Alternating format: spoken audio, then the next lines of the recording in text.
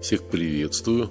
Продолжаем знакомиться с персонажами античного мира по книге Бетти Редис «Кто есть кто в античном мире», дополняя данными из Википедии и из интернета.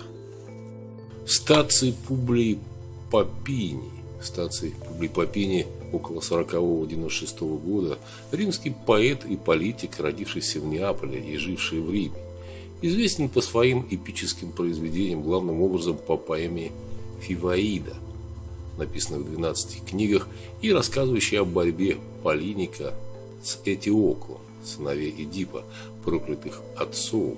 Свою вторую эпическую поэму Ахиллеиду, рассказывающую о юности Ахила, Стация оставил незаконченной. По Фаваиде Стация был написан средневековый фиванский роман. Данте следует традиции, согласно которой Стаций обратился в христианство, прочитав мессианскую эклогу Вергилия. Поэтому именно Станций сменяет Вергилия в качестве провожатого Данте к земному раю. Божественная комедия «Чистилище».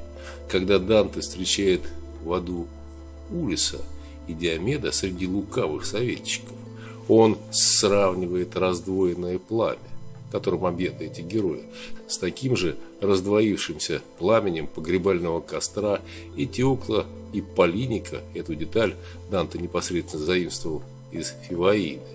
И Теол и Полиник так ненавидели друг друга при жизни, что и после смерти не хотят гореть в общем пламени.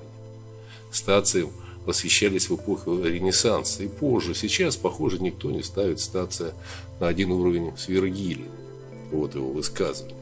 Да жалок тот, кто скрыть своих несчастий не способен. Живи как можешь, раз нельзя, как хочется. Первых на свете богов создал страх. Часто мудрость мы находим под убогим рубищем. Ну, так вкратце о стации. Стации Публий Попини, римском поэте и политике. Пока-пока, до свидания.